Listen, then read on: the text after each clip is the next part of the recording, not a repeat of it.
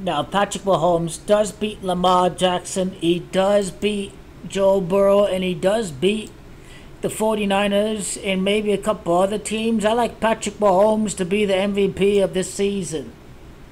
Mahomes, if he were to win, he'd have three MVPs, and Lamar would have two. Kind of 32 is the gematria of Chiefs that we speak about. Chiefs is gematria 32, but for Mahomes, it'd be three MVPs in seven years as a starter with the Kansas City Chiefs. So that's kind of how I'm looking at that element right there.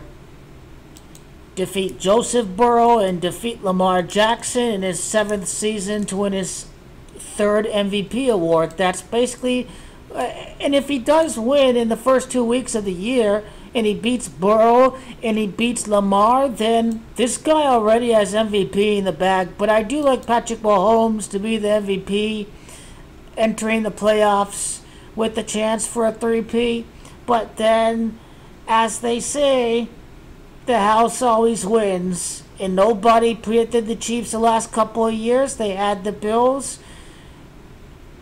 And then they had the Bengals beating the Chiefs this was all in Super Bowl 57. And then last year, they still liked Buffalo. They still liked Baltimore. So the fact of the matter is, it's not going to be very easy to just assume Kansas City's going to win because nobody assumed Kansas City was going to win the, the Super Bowl, let alone the AFC in the last couple of years.